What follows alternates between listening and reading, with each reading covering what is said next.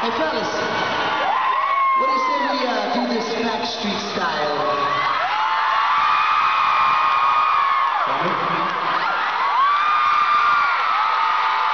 Of.